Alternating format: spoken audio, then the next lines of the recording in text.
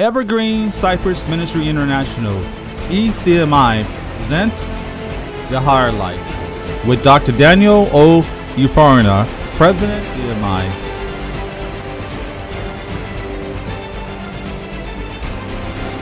ECMI is an interdenominational outreach ministry founded by Dr. and Mrs. Daniel Ufaruna to pursue God's mandate for global mass evangelism, His glory be the supernatural, and revival. Across several cities and in various nations, Dr. Daniel Ufaruna's crusades and meetings are characterized by the tangible manifestation of God's glory, an intense teaching and prophetic anointing, and awe-inspiring signs and wonders that exalt Jesus. nine, ten.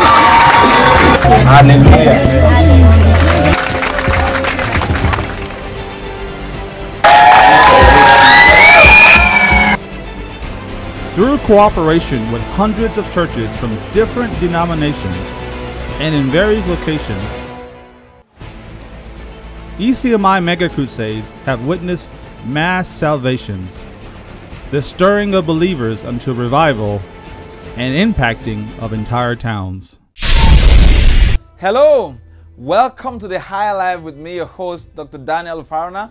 Uh, my privilege it is to bring God's word, God's power, and God's glory to your homes and offices.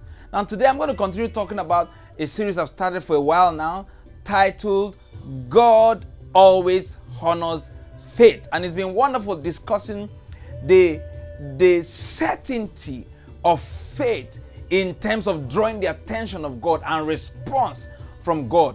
And um, we've looked at a number of things. Uh, let me mention a few things. Uh, I've said that we have a supernatural life that overcomes the natural world. We see that in 1 John 5 4. And one of the ways we work out that supernatural nature, supernatural life on the inside of us is via an active work of faith. I want you to make note of that word active. And I've said no force on earth can stop faith. No force on earth can stop faith. That's why Jesus says faith can move mountains. Wow. And I've also said that God honors faith. Looked at the stories of you know four different individuals in the gospels that interacted with Jesus on the basis of faith. And Jesus did not refuse, nor did he deny their faith. And in the name of Jesus, that is your portion also. Amen. Now, I want to begin to um, continue this, this week uh, by first saying that personal revelation is the basis of great faith. In other words, a personalized insight into the faithfulness of God, into the immutability of His counsel, into the assurance that He's the same yesterday and today and forevermore, is the basis for great faith. For example, um, we looked at the issue, the woman with the issue of blood who was healed. We looked at the woman of Canaan whose daughter was healed. We looked at the man, the crippled man in Luke 5 that they brought and his friends led down through the roof. And we looked at the story of Mary, Mary, the mother of Jesus. Now, in all these cases, each one of them had an individual revelation of Jesus, of the Word of God, on the faithfulness of God, which became the basis for their actions of faith. Hallelujah. In other words, the actions of faith are not taken on the basis of wishful thinking. The actions of faith are taken on the basis of the revelation of God's word and his faithfulness. Hallelujah. In other words, our faith is based on his faithfulness. What is the assurance that God will respond to your faith even today? It is the assurance that we have in Psalm 119, verse 90 that his faithfulness endures through all generations. Hallelujah. Now, let's look at some of those instances. In John 2, the basis for the faith of Mary in asking Jesus to turn water to wine is, was simple. The basis for her persistence was simple. She said, to the servants, whatever he tells you to do, do it. In other words, she was saying that once Jesus tells you to do something and you do it, he is bound to abide and to confirm his word. Hallelujah. So that was Mary's revelation. Mary's revelation was that God will honor whatever Jesus says. And so she persisted and said, Look, not only will God honor what he says, but if you persist and wait on him, he will also speak that word to you. So even when Jesus was not willing to speak, she told the servants to wait there so that whatever he tells them, they will do it. In other words, if you wait on Jesus, Jesus will speak to you. That's another basis for the faith of Mary. Hallelujah. So if you've been praying and it looks as if, you know, heaven is brass, you're not hearing anything, persist in the place of prayer.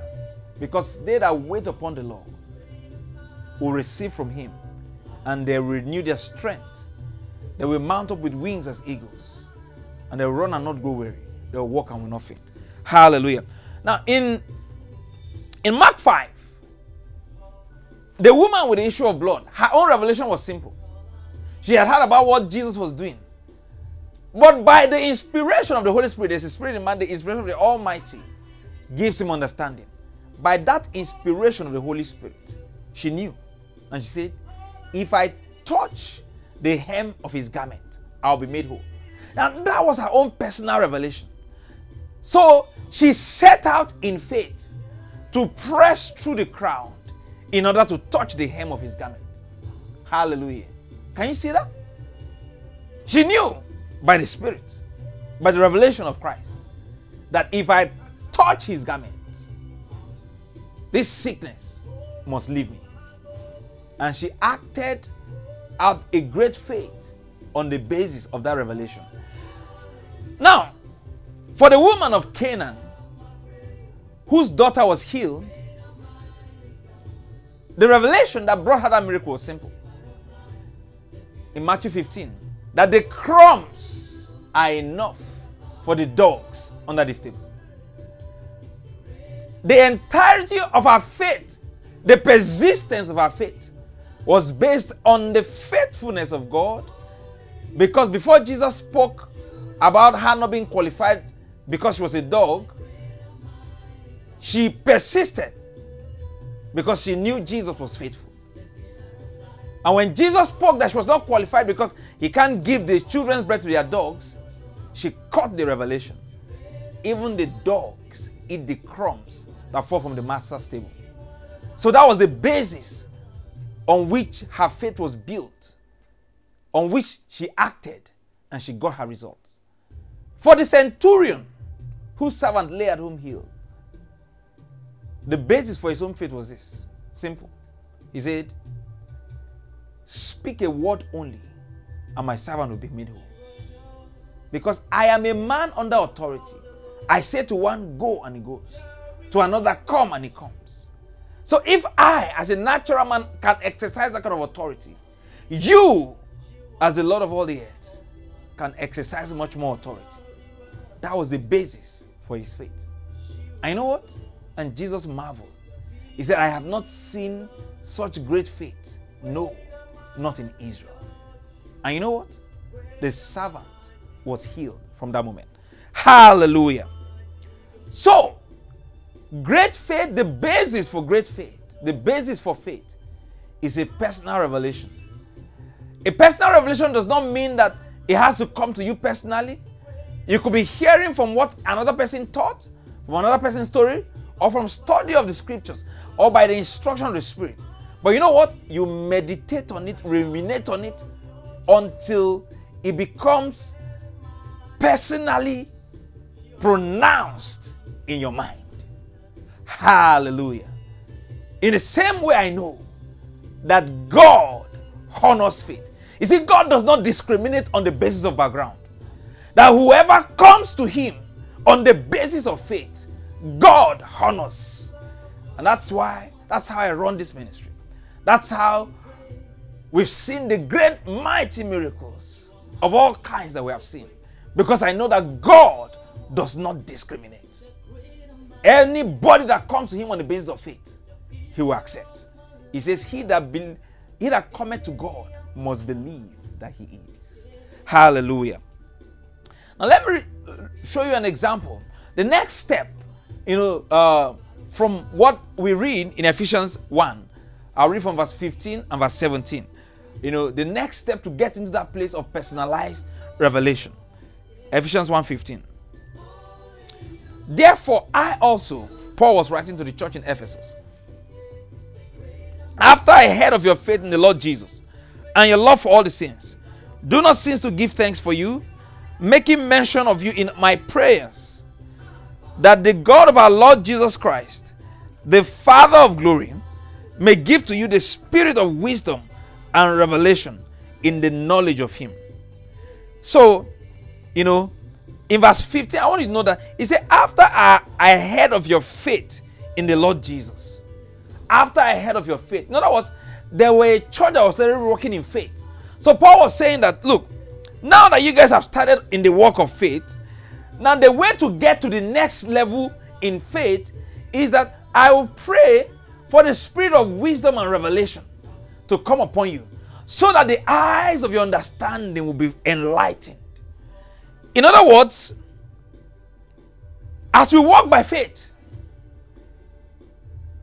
a deeper revelation of the oppression by the oppression of the spirit of wisdom and revelation, a deeper understanding by the oppression of that spirit will bring us to the place of a deeper work of faith.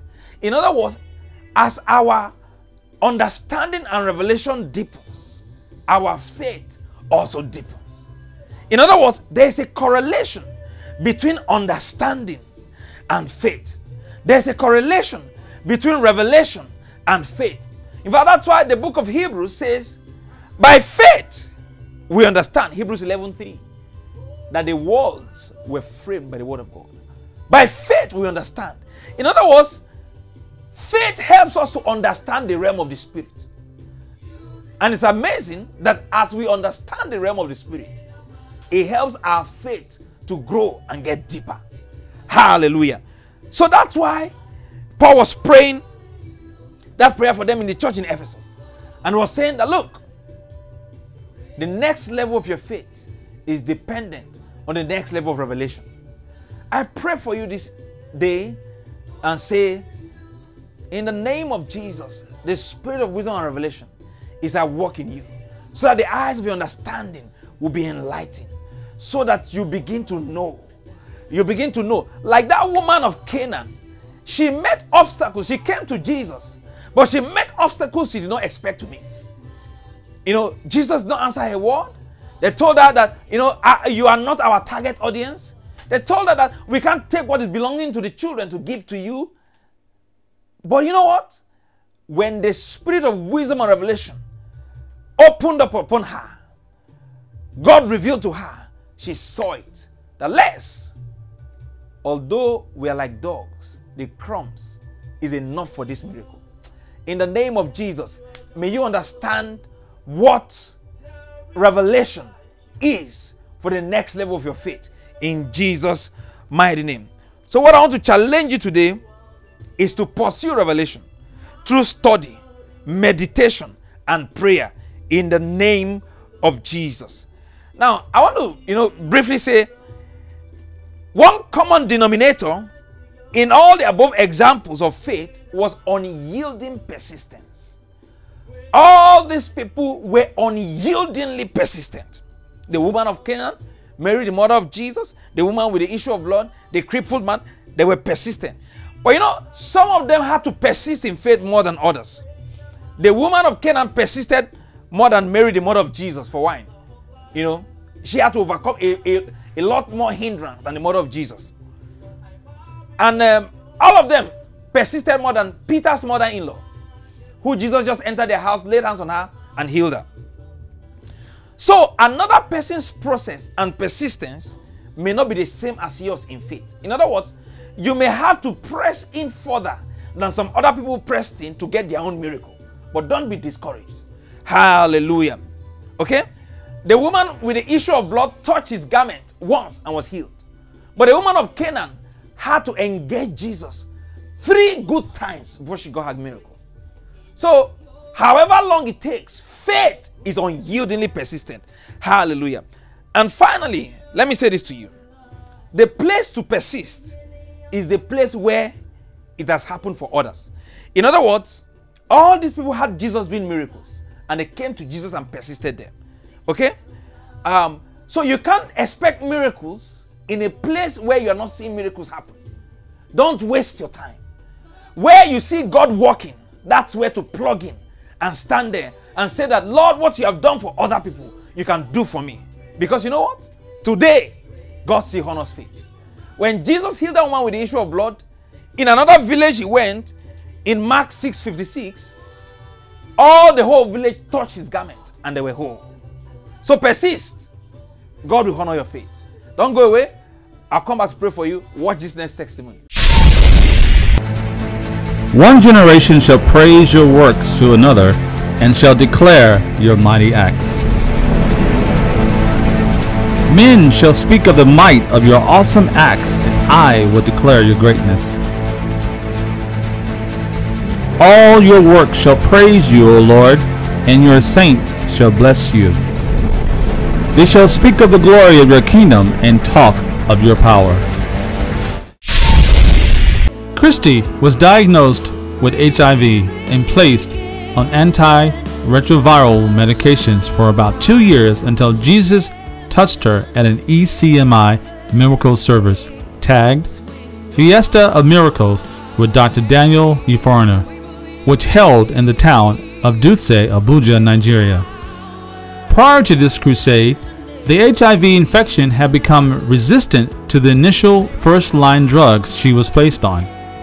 Consequently, her doctors changed her drugs to the stronger second line medications. This fact, coupled with disease progression, affected her health so much that she had to quit her job. This was the state of Christy's life until she began attending the miracle services with Dr. Daniel Ufaruna. For the first four days of this meeting, Jesus began reaching out to her. On the fifth day, that is Saturday, the 30th of August 2014, the story of her entire life was rewritten because she encountered Jesus tangibly. God's servant, Dr. Daniel, laid hands on her and she was overcome by the power of the Holy Spirit as fire spread through all her body. Following this encounter, she went to three different laboratories and tested negative to HIV in all three laboratories to the glory of Jesus. Let's hear Christy tell her story. Okay. So I lay hands on you on Saturday. So what happened to you when I lay hands? I don't just know. I find myself outside. went for the test again. When I went for the lab, I told them that I want to run the test because my record is there.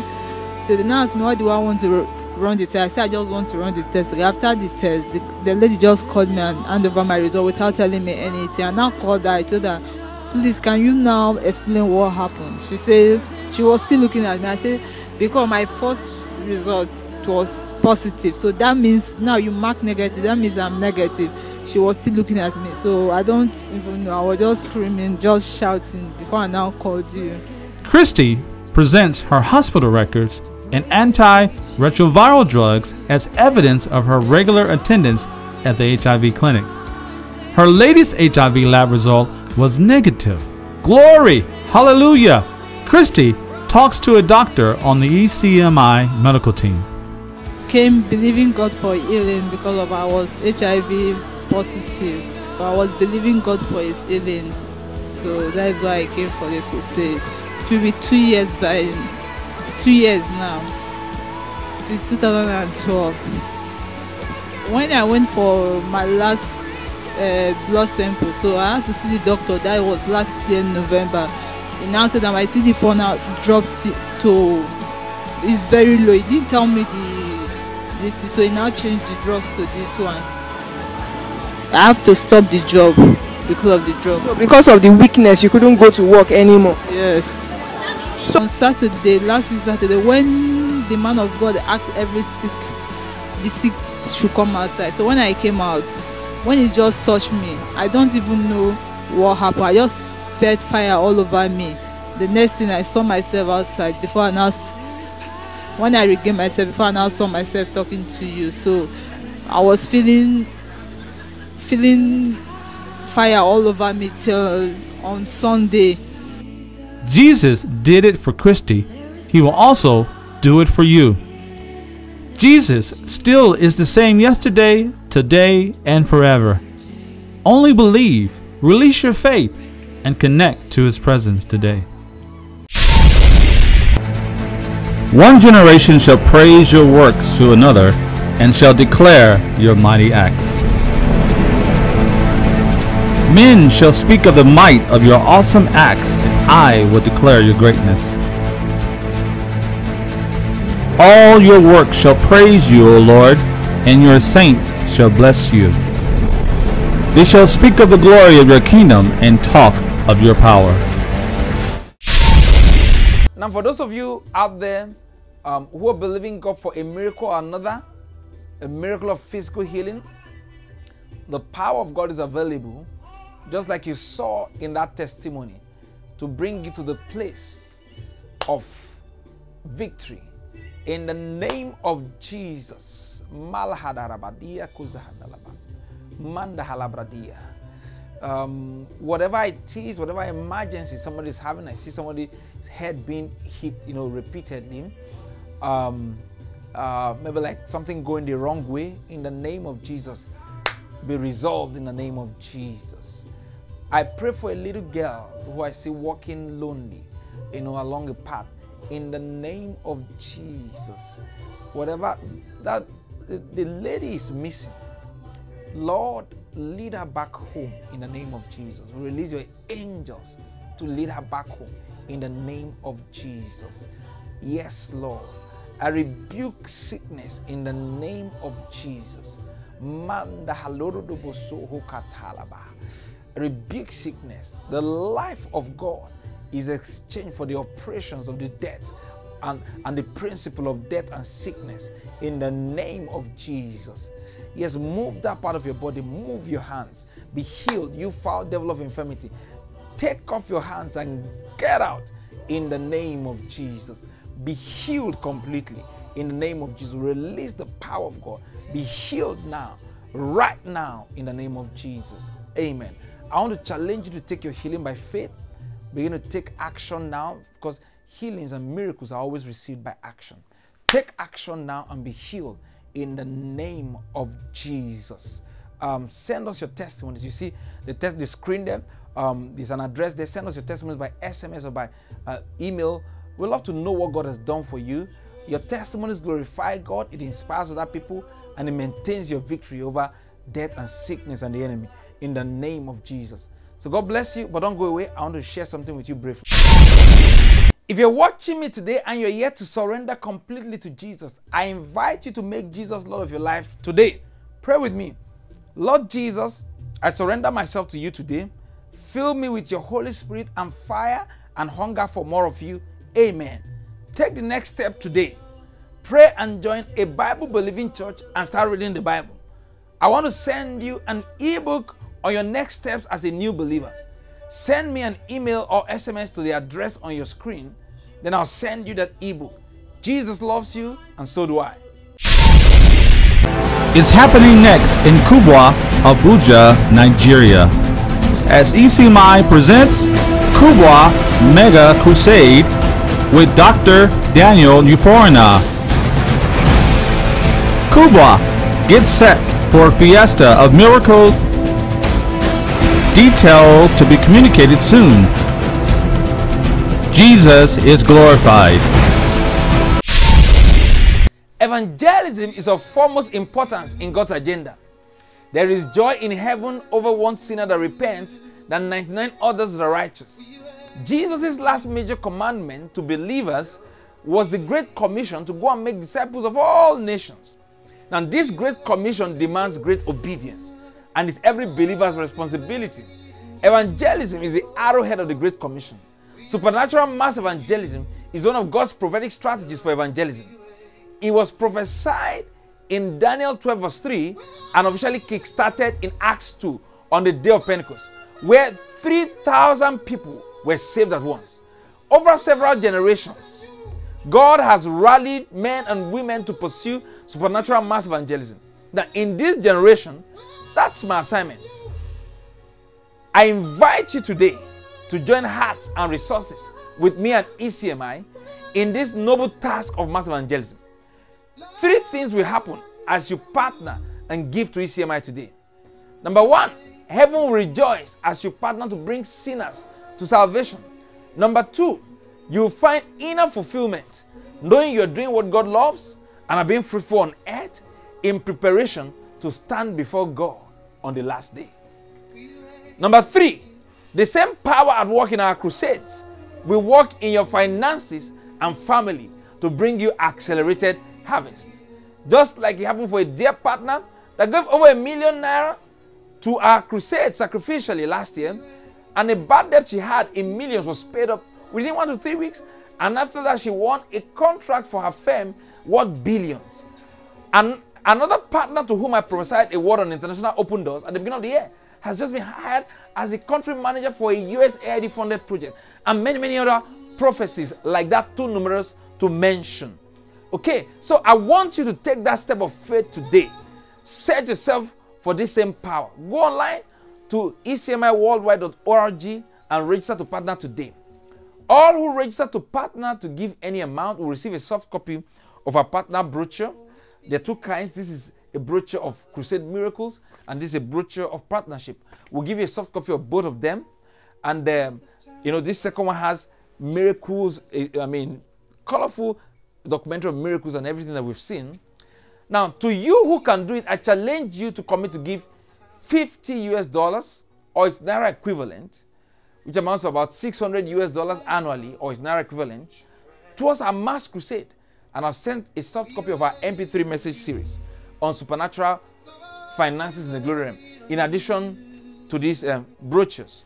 Now, to you who can give it, I challenge you also to commit to give 100 US dollars or its equivalent monthly, um, or that amounts to 1,200 US dollars annually or its naira equivalent. And I will send you a soft copy of this, my powerful book, Faith Capsules Living a Supernatural Life by Faith, in addition to all the other materials. Now, I challenge you today do not procrastinate. Start giving to 21st century mass evangelism today. Give your best to God's first, His priority. I want to pray for all our evangelism partners. Everyone taking that step today, I want to pray for you also. Bring out your financial instruments in an act of faith, your credit cards, wallet. Let's just release the supernatural power and favor of God over them. Father, in the name of Jesus, I release your favor over their finances, over their work, over their sphere. That which is about to die receives life in the name of Jesus. Lord, we release angels to bring and work supernatural financial miracles in the name of Jesus. Be glorified.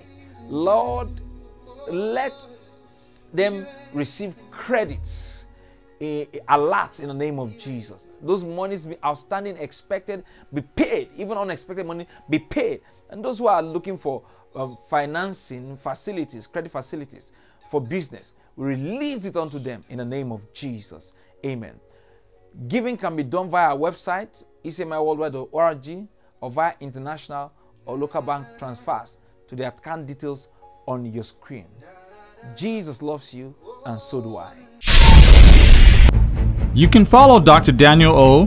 Ufaruna and ECMI on Facebook at facebook.com slash ECMI worldwide or online at www.ecmiworldwide.org. On Twitter at Dr. Daniel 04 or at ECMI Worldwide.